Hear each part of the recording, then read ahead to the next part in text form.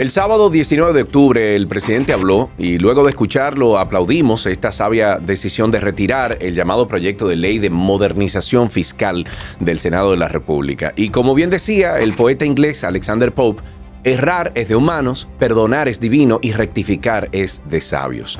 Especialmente cuando un presidente asume la responsabilidad de algo propuesto por su equipo económico sin antes sumar las voluntades de los diversos sectores que representan al pueblo dominicano. Por eso esta rectificación del presidente es un logro de todos y fue posible gracias a la unidad nacional y con el mismo ímpetu con que protestamos de todas las formas posibles contra esta reforma o esta propuesta de reforma. Ahora nos toca entonces dedicar nuestras energías y seguir trabajando y velando por un mayor crecimiento en nuestro país. Ahora es tiempo de proteger la confianza en nuestro país como un lugar jurídicamente y políticamente estable para invertir y de trabajar unidos para mantener un ritmo de crecimiento que continúe aportando a la nación que todos queremos. Y gracias a esa estabilidad, a esa consistencia en las políticas públicas en los últimos 20 años, República Dominicana ha venido creciendo de manera sostenida, expandiendo nuestro PIB, nuestro Producto Interno Bruto, a un ritmo de 5% anual, lo cual debemos seguir cuidando. Todos los sectores de la economía son importantes, porque uno complementa al otro, pero hoy yo quiero hablarles sobre el impacto que vive un sector que conozco de primera mano y que entiendo representa un motor de nuestra economía importante. Es la construcción, especialmente las inversiones en construcciones del sector turístico. Para entender este crecimiento que hemos tenido hasta ahora, solo en el año 2021, oiga, ponga, saque la libreta de nuevo, Solo en el año 2021, justo saliendo de la pandemia, la construcción representó un valor agregado de 13.475 millones de dólares, alcanzando el, el 14.3% del PIB en ese año, 2021. Según cifras del propio gobierno, en el 2023 las inversiones en construcciones turísticas en la República Dominicana ascendían a 10.799 millones de dólares, siendo el sector inmobiliario turístico el mayor con 4.527 millones de dólares, seguido del sector hotelero por 4.444 millones de dólares. Entonces, la razón por la cual la construcción es tan importante para nuestro país es que, aunque las economías de servicios son muy importantes porque aportan plazas de trabajo, cuando un turista termina sus vacaciones y se va, o por si alguna razón no puede venir, como ocurrió durante la pandemia, la infraestructura es lo que nos queda. Esa infraestructura nos permite estar preparados para resurgir y con eso no se juega. Hay muchos tipos de inversión extranjera, pero una de las más seguras es la inversión inmobiliaria. Eso ha sido por siglos. De hecho, según estudios de nuestro Ministerio de Economía, Planificación y Desarrollo, específicamente en su ensayo sobre la apertura de Cuba y sus eventuales efectos sobre la economía dominicana, sabemos que ese país siempre estará geográficamente más cerca de nuestro principal mercado, que es Estados Unidos, y que goza de una ventaja competitiva muy fuerte, como lo es la mano de obra calificada. Sin embargo, y así lo, lo, confirma este estudio, nuestra única ventaja competitiva frente a Cuba es la infraestructura, en especial para un sector tan importante como el turismo. Por eso es que insistimos en que no podemos detener ni frenar el sector de la construcción inmobiliaria turística, retirando esos incentivos como los de Confotur. Señores, solo sería retroceder. Y les voy a explicar más razones aún. Como se dice, los pueblos que no recuerdan su historia están condenados a repetirla y nosotros tenemos un precedente aquí. Nadie debería olvidar que el primer intento del, Estado dominicano de desarrollar un destino turístico y un destino hotelero fue Puerto Plata. En Puerto Plata, por ejemplo, ahí había un complejo famosísimo que todavía está ahí, se llama Playa Dorada. Incluso el Banco Central construyó allí uno de los primeros campos de golf del país y gracias a la entonces ley de fomento turístico empezaron a llegar capitales extranjeros y se construyeron hoteles y de todo en Puerto Plata.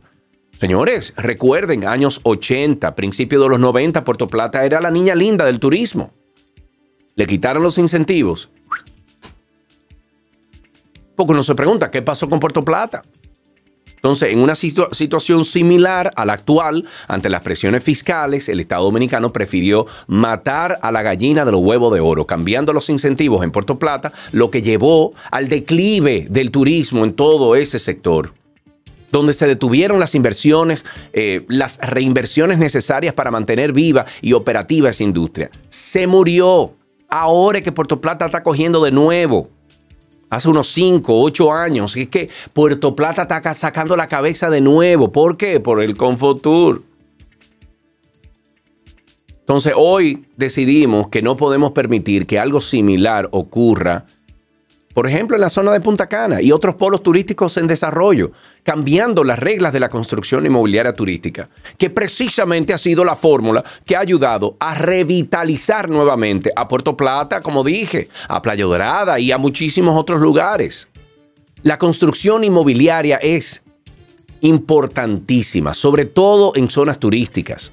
Es una oferta que complementa la propuesta del país como destino y aporta beneficios. Y según datos del gobierno, la oferta inmobiliaria de propiedades turísticas, desde segundos hogares para visitantes eh, de larga estancia, por ejemplo, hasta unidades de corta estadía, ha contribuido a que el gasto diario por extranjero que nos visita haya aumentado de 92 dólares.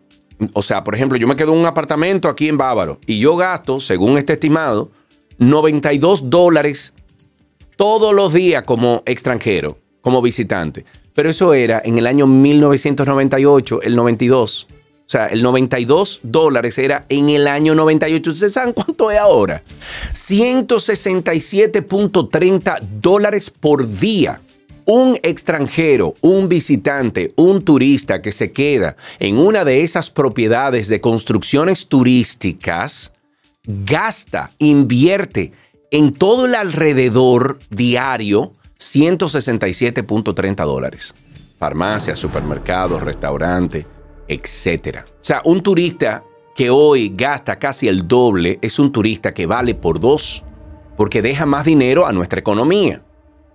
Junto con el sector de la construcción turística también existe otra oferta complementaria muy importante que se vio amenazada con esta reforma y que debemos proteger. Los fideicomisos inmobiliarios, señores en un país donde según estudios de la Escuela de Arquitectura de la Universidad Pedro Enrique Sureña, la UNFU, el déficit de viviendas que crece a un, ritmo impresionante de 37 mil unidades por año y se estima que estamos atrasados en casi 2 millones de viviendas que ya debían estar construidas. Y sería un grave error, señores, frenar esa industria.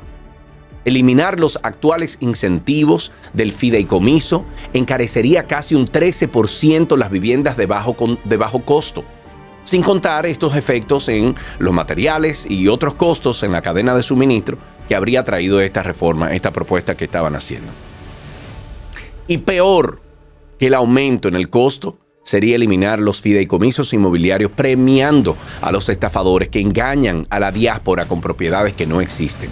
Gracias a esos fideicomisos hemos logrado recuperar la confianza de los dominicanos que quieren invertir aquí, porque garantizan seguridad jurídica, transparencia en todo el proceso. Entonces, para quien compra, quien financia, quien construye y por supuesto para el Estado, genera esa confianza. Esto es lo que el gobierno debe fomentar, transparencia, orden, no premiar la informalidad. Al igual que la gran mayoría que, bueno, me alegra que esta reforma no haya pasado, honestamente. Es momento de trabajar juntos, enfocarnos en seguir creciendo como país. Si el año pasado el turismo ayudó a reducir el déficit fiscal de 3.2% a 3.1% con un aporte de 10 mil millones de dólares en el 2023, en el 2024 como sector productivo, nuestro enfoque debe ser atraer más inversión extranjera y fomentar el desarrollo inmobiliario turístico. Y por favor, al MITUR, por favor, al, medio, al Ministerio de Medio Ambiente, revisen todos los permisos que tienen pendientes. Hay muchas de estas inversiones que no han arrancado porque ustedes tienen un año y un año y medio con esos permisos ahí que no se deciden si lo van a aprobar, si no lo van a aprobar. Señores, eso es dinero parado, por Dios, que entra a la economía dominicana. Con cada dólar que entra y se, se convierte en un bloque de construcción, básicamente. se quede en el país y enriquece nuestro patrimonio como nación. Piensen por Dios, trabajemos juntos, no encontrados todos. Ojalá y que esto ayude a abrir un poquito la mente del pueblo y de los que están en poder.